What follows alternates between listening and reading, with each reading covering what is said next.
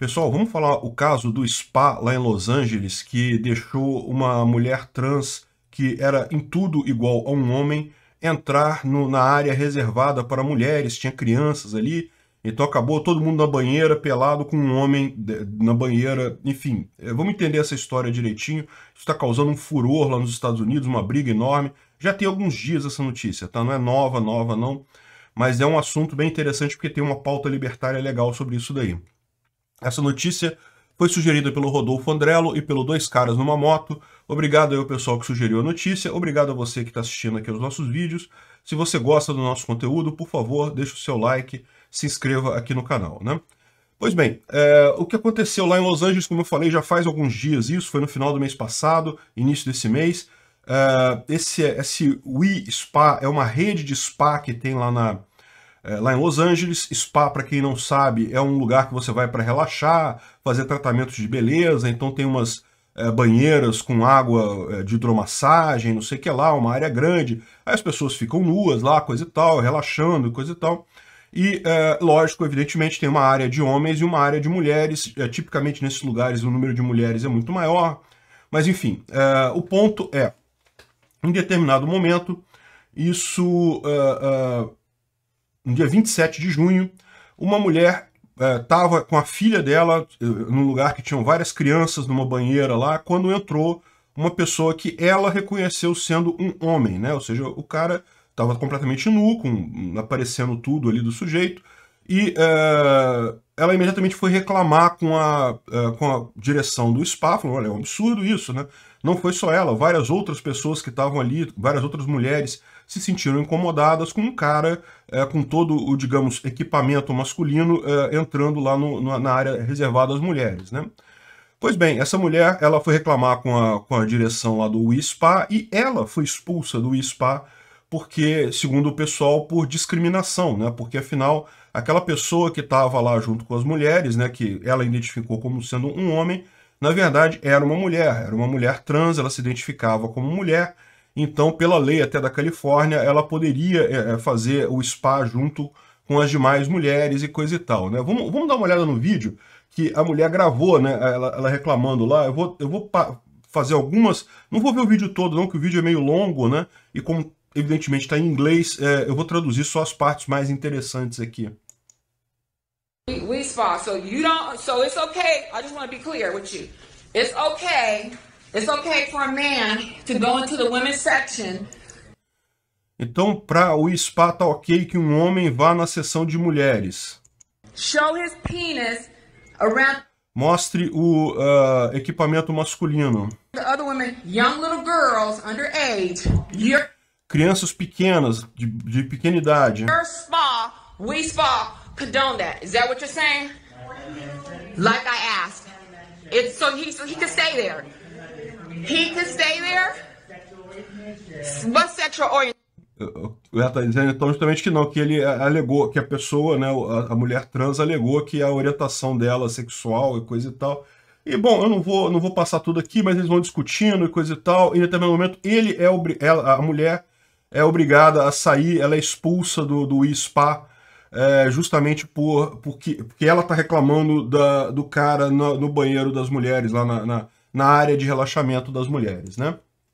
E, é, aliás, isso é uma coisa curiosa, né? É, vocês repararam isso? Que o termo mulher trans mudou de uns tempos para cá? Alguns anos atrás, eu entendia, a gente entendia mulher trans como uma transexual que tinha sido operada, né? Que havia feito a operação de mudança de sexo, né? ou seja, não teria mais a genitália masculina. E, no entanto, hoje em dia já se usa o termo mulher trans para qualquer pessoa que se identifique como mulher e é, antigamente se chamava isso de travesti, né? Ou seja, você qualquer pessoa que se identifique como mulher, mesmo que não tenha feito a operação. Curiosa essa, essa mudança aí de, de termos, é, mas isso é só uma observação. O ponto central aqui é, repara como existe aqui um problema, né? Veja, é, do ponto de vista libertário, antes de falar do ponto de vista libertário, deixa eu falar a questão legal lá, né? Então, o que aconteceu? A mulher foi expulsa do, do, do spa, a mulher que reclamou, né? Não a transexual. A transexual continuou lá. É, várias outras clientes saíram, então um monte de gente pediu as contas, cancelou, pediu dinheiro de volta, saiu, foi embora, coisa e tal. A transexual continuou lá com, eventualmente, alguns clientes que não se importaram com, com a, a condição, né? Isso causou muita, muita briga lá, porque, inclusive, a mulher que reclamou está sendo processada e coisa e tal por homofobia. Né? É, é, vocês sabem como é que funciona esse tipo de coisa. Agora, nem todo mundo concordou com isso aí, tanto que teve protestos dos dois lados, tá? teve protestos a favor e contra é, é, a posição lá do, do Y-SPA, né? Ou seja, teve gente dizendo, teve protestos do pessoal reclamando dessa possibilidade de homens que em tudo são igual a um homem, não tem, só disse que era mulher, não tinha nenhuma característica externa de mulher, além de dizer que é mulher, e entrar num, num banheiro, num lugar íntimo com crianças, e ao mesmo tempo teve gente protestando contra o que eles viram como homofobia desse pessoal. Afinal, se a pessoa diz que é mulher, ela é mulher, não tem nenhuma diferença não pode ter nada. Né? Está essa discussão lá nos Estados Unidos, discussão grande. E o que tem de novidade recentemente é que até algumas pessoas da comunidade LGBT, algumas mulheres trans, é, falaram que vendo mais detalhes do caso, vendo o que foi, realmente é uma situação que é complicada, é, é, justamente porque você tem realmente transexuais que são mulheres, de fato, né? Se, realmente se entendem como mulheres. Mas o que acontece com essa lei tão ampla que foi decidida lá na Califórnia, que foi aprovada lá na Califórnia, o fato é que qualquer pessoa pode se dizer mulher e uh, entrar no banheiro das mulheres, né? Isso abre caminho para pessoas que não necessariamente realmente são mulheres trans, uh, pessoas que realmente se sentem mulheres, mas simplesmente homens que têm algum tipo de perversão sexual, sei lá, de mostrar o peru para criancinha, e, enfim, vai saber, né? E uh, essas pessoas podem aproveitar desse tipo de, de liberdade para fazer alguma coisa nesse sentido, né? De entrar literalmente junto num spa com mulheres, né? Enfim. E é justamente porque essa mulher está falando aqui, né? Essa mulher trans, que é da comunidade LGBT, ela falando que esse tipo de coisa chocou, inclusive, muita gente na comunidade LGBT. É, realmente, o, o, caso em si, é, a mulher, a forma como se portou, essa mulher trans de fazer questão de, de é, de mostrar o peru para todo mundo, para as meninas e para as mulheres lá e coisa e tal, é, é uma coisa que realmente chocou muita gente lá, né? E aí tá essa discussão enorme, vocês podem imaginar, o pessoal mais à esquerda achando que não, que o LGBT tá certo, que esse pessoal preconceituoso tá errado, que não sei o que lá, e o pessoal é, é, do, do, outro lado dizendo que, poxa, que é um absurdo isso, né? É, é realmente uma coisa que é, é, não faz sentido nenhum. Todo mundo sabe que crianças, você tem realmente uma, uma, uma um crescimento, uma maturidade sexual, uma etapa de maturidade sexual. Expor crianças cedo demais a questões sexuais pode sim ser prejudicial ao desenvolvimento da criança, né? Enfim, é, o ponto central dessa história toda é, e do ponto de vista libertário, o que, que, tá, o que, que se tira daí, né? Eu não preciso explicar para vocês que do ponto de vista positivista, do ponto de vista progressista, o pessoal, todo, todo mundo a favor dos LGBT, é, contra a mulher lá que reclamou, não, tem que aceitar, se falou que é mulher, mulher, ponto. Do ponto de vista conservador, evidentemente o pessoal é contrário a isso, né? É, é não tem lógica nenhuma. É, é, eu, eu, acredito que muitos conservadores até aceitariam uma mulher trans realmente, né, no sentido é, que fosse operada e coisa e tal, frequentar um, um, o ambiente feminino do spa, mas uma pessoa, né, uma, uma mulher trans que ainda não é operada, ainda com a genitália toda lá, realmente uma coisa mais complicada, né? Agora, e do ponto de vista libertário? Bom, do ponto de vista libertário, como eu falei para vocês, evidentemente, cada pessoa é absolutamente livre para se identificar como ela achar melhor, como homem, como mulher, como que quiser. E agora, é, exigir de outras pessoas que te reconheça como você é, se, se reconhece é uma questão de respeito. As pessoas é, é têm que te respeitar para aceitar você como você quer. E isso vale não só para orientação sexual, mas para qualquer coisa. Se você é um professor e você quer que as pessoas te aceitem como um professor, você tem que ganhar o respeito dessas pessoas. Existe uma etapa antes de você poder exigir que as pessoas te tratem como você é, se reconhece, né? Então, é, respeito não é de graça, respeito se conquista, não se exige. Então, no final das contas, essa é a nossa posição, evidentemente que é perfeitamente válido as pessoas é, é, adotarem a filosofia que quiserem, é, entenderem o sexo que tiverem vontade. Agora, exigir isso de outras pessoas requer uma, uma, um, um passo anterior. Via de regra, eu acho que é perfeitamente razoável você respeitar a escolha da pessoa. Se a pessoa se, se entende como mulher, eu acho perfeitamente válido isso.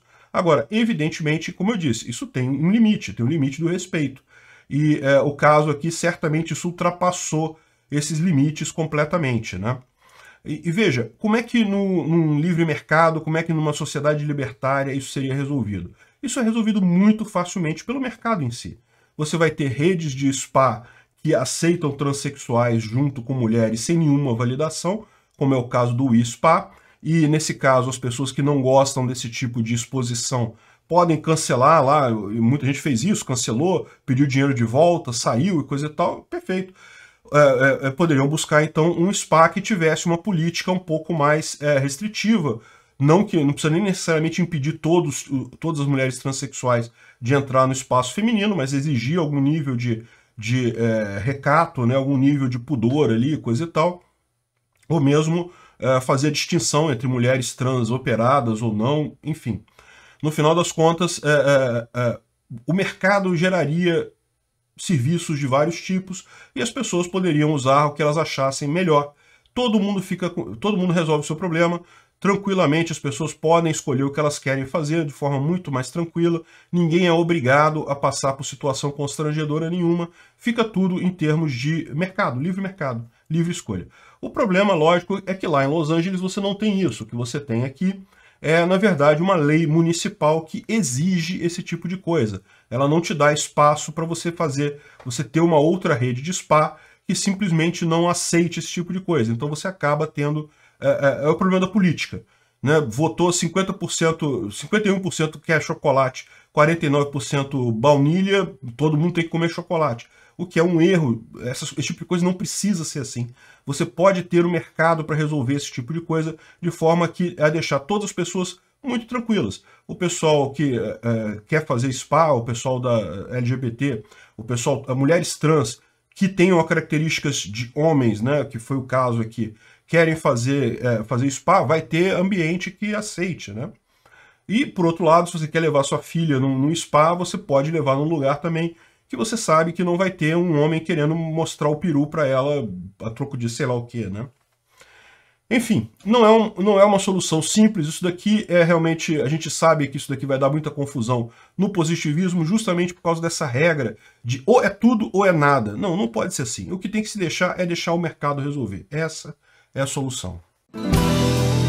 Se chegou até aqui e gostou do conteúdo, clique no like e se inscreva no canal. Isso me ajuda e ajuda também a causa da liberdade, pois o YouTube vai passar a recomendar mais os meus vídeos e vídeos com temas libertários para você e para outras pessoas. Considere também clicar no sininho e pedir para ser notificado de novos vídeos. Caso queira sugerir uma notícia para falarmos aqui, é só ir no nosso site https ancap.su, clicar lá em sugerir uma pauta, colocar o link da notícia, pode acrescentar alguma informação se você quiser. Eu agradeço a todos que nos ajudam a fazer este programa.